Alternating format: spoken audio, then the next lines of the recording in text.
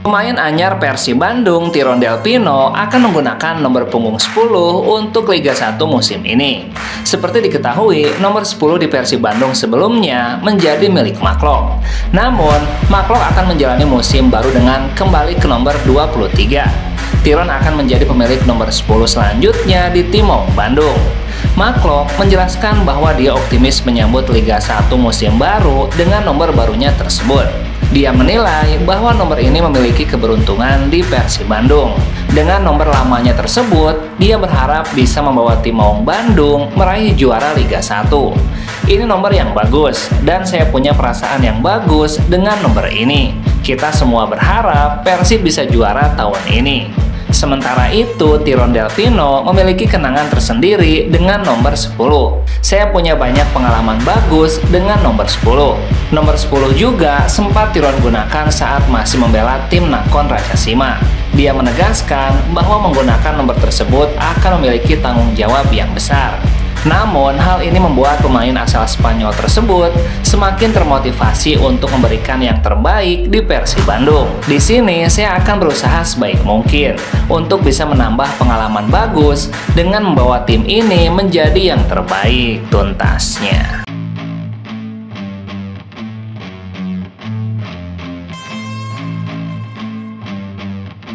Persib Bandung sepertinya masih akan memanfaatkan secara baik waktu jendela transfer kali ini jelang bergulirnya Liga 1.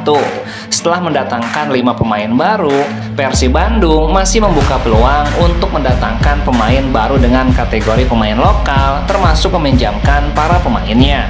Deputi CEO PT Persib Bandung, Teddy Cahyono, mengakui timnya masih memiliki peluang untuk melakukan aktivitas di jendela transfer kali ini. Pasalnya, ada sejumlah permintaan dari pelatih untuk mendatangkan kiper baru hingga merampingkan skuadnya.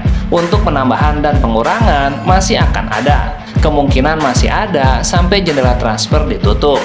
Teddy menjelaskan pihak manajemen akan terus berusaha untuk memenuhi keinginan dari tim pelatih.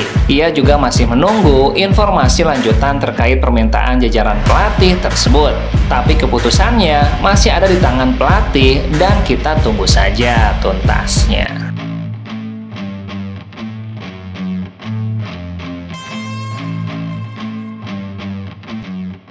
Direktur PT Liga Indonesia Baru, Ferry Paulus, akan mengevaluasi kembali kapasitas kehadiran supporter seusai masa kampanye pemilihan umum berakhir. Sebelumnya, PT LIB mengeluarkan kebijakan melarang kehadiran supporter tim tamu pada kompetisi Liga 1. Jadi 50% pembatasan kehadiran supporter itu setelah ada fase kampanye. Nanti kita evaluasi lagi kapasitas supporter tandang. Ferry Paulus mengungkapkan pada putaran pertama Liga 1, pertandingan dapat diisi supporter tuan rumah dengan kapasitas 100% atau penuh untuk setiap stadion. Kapasitas 100% kehadiran itu semuanya bisa untuk semua laga Liga 1 tetapi 100% kehadiran tetap untuk tim tuan rumah saja. Mantan Direktur Olahraga Persija itu juga mengatakan kesepakatan kehadiran supporter telah jauh-jauh hari disepakati semua klub. Selain itu, surat izin dari Polri adalah untuk kehadiran supporter tuan rumah saja. Liga 1 sendiri dijadwalkan akan mulai bergulir pada tanggal 1 Juli mendatang. Pertandingan pembuka mempertemukan Bali United menghadapi PSS Sleman di Stadion Kapten Iwayan Dipta pada pukul 15.00 waktu Indonesia Barat tuntasnya.